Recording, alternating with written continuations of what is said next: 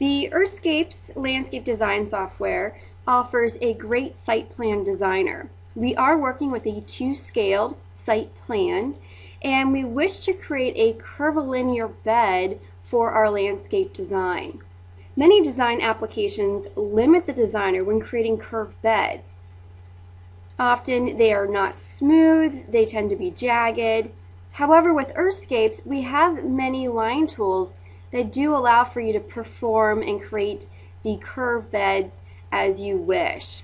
This particular tool that we used on this design is the B-spline tool. Each time we left click, it allows for us to place a control point. Those control points, as you see on your screen now, can be further adjusted and manipulated to adjust the bed how we wish it to be viewed and seen on our final design. This bed does offer geometric information. You can pull up that geometric information within Earthscapes, but you have a professional site plan to offer your customers with the Earthscapes software.